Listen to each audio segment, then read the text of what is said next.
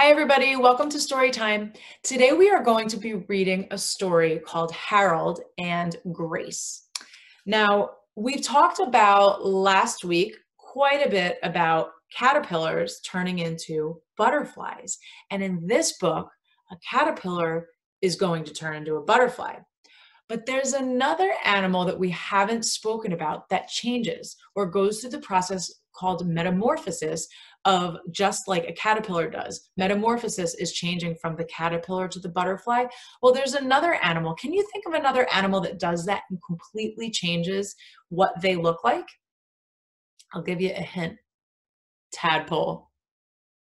A tadpole, who knows what a tadpole changes into? A tadpole changes into a frog. So a tadpole actually grows legs. Tadpoles don't have legs, they have a tail, but they kind of lose their tail and they grow legs and they totally change shape. So in the beginning, they swim. And in the end, what do they do? They hop, right? And just like um, caterpillars and butterflies, they start off. Caterpillars do what? They crawl. And in the end, when they turn into a butterfly, they fly. So they totally change. So this is a beautiful story about a caterpillar and a tadpole and how they both change and what happens to them. Okay, so listen to the book and we will talk about it after the story. See you in a few. Harold and Grace by Sean E. Avery. A lonely leaf grew from a tiny tree beside a little pond. Some silky eggs were stuck to the underside of the lonely leaf, which hung just a pebble splash above some slimy eggs in the little pond. Then the storm hit. The storm rushed and howled and splashed and blew at the tiny tree, the little pond, and the lonely leaf. When it finally stopped, the lonely leaf was safe but the storm had stolen all except one of the silky eggs and all but one of the slimy eggs. The silky egg and the slimy egg hatched at the same time on the same day. Hello, said Harold the tadpole. Hello, said Grace the caterpillar. Harold swam off to explore the little pond. There, he overheard some gossiping guppies. Is that a fish? Where are its fins? Can't be much of a fish without any fins. It was a very sad swim for Harold. Grace slithered up the side of the tiny tree. Some snooty stick bugs crossed her path. Oh my word, what a ghastly shade of green! And would you look at that ridiculous fur? It was a very sad slither for Grace. Wherever Harold and Grace ventured in the little pond or on the tiny tree, they were always teased for being different. One day, Harold and Grace met back at the Lonely Leaf. I like your fur, said Harold. I like your tail, said Grace, and the two became best friends that day. As time went on, Harold and Grace grew bigger, and Harold started to change. The fish in the pond noticed the changes. Oh, look at those fins. They look strong. Want to go for a swim with us? Harold was excited that he'd made some new friends. He spent more and more time swimming with the fish in the pond and less and less time with Grace at the lonely leaf. Harold's changes didn't stop. As he got bigger, his tail began to shrink. The fish in the pond noticed that change too. Ew, what happened to your tail? What kind of freak fish has legs? Harold's new friends weren't acting like friends anymore. Harold returned to the lonely leaf looking for Grace, but she was nowhere to be seen. All Harold could find was a small silky sack sitting where his old friend once slept. Harold sat near the lonely leaf every day. Every night, he fell asleep with his head resting on the small, silky sack.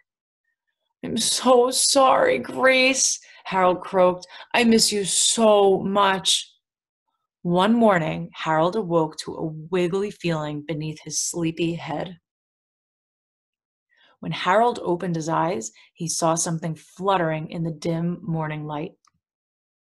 Harold shot out his long tongue to grab the tasty morsel from the air, but as he pulled the butterfly into his mouth, Harold!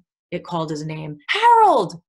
Harold was not used to his breakfast talking to him. Harold, you big green nincompoop, it's me!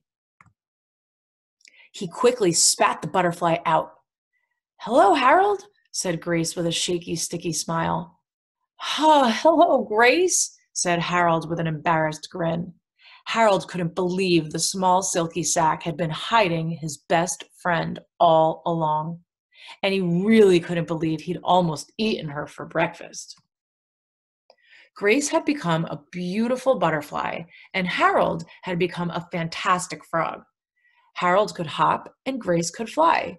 They didn't need to stay near the little pond and the tiny tree anymore. They went adventuring and soon discovered others who were just like them. But no matter how many new friends they found, Harold and Grace never forgot the special one they had made so long ago, near a lonely leaf growing from a tiny tree beside a small pond. The end.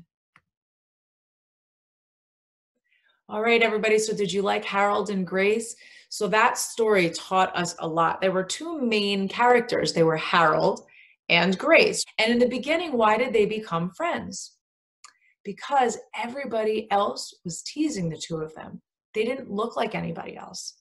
They didn't act like anybody else, right?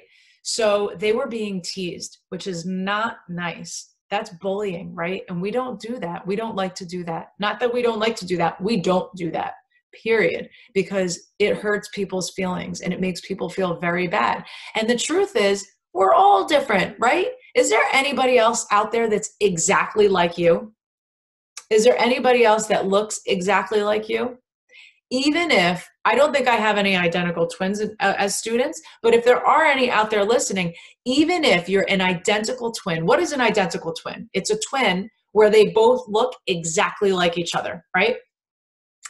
Even if you're an identical twin, are you exactly the same on the inside? No. Do you, uh, do you like all of the exact same things? No. Do you act the same way? Nope, not that either. So everybody is completely different. So to make fun of somebody for being different, it's a little silly, right? Because everybody is different. We're supposed to be. Nobody's supposed to be exactly the same. That's what makes us unique, and that is what makes us so special.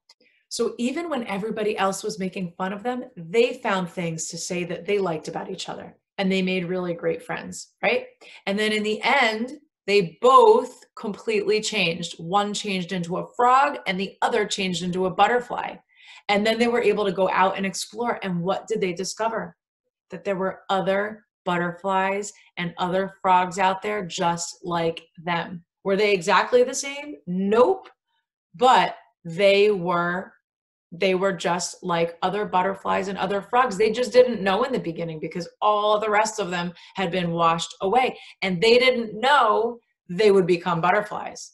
And they didn't, or Grace didn't know she would become a butterfly, and Harold didn't know that he would become a frog. So even if they had seen a butterfly or a frog hopping or flying around, they wouldn't have known that they were anything like that. They had no idea that in the future they would become frogs and butterflies.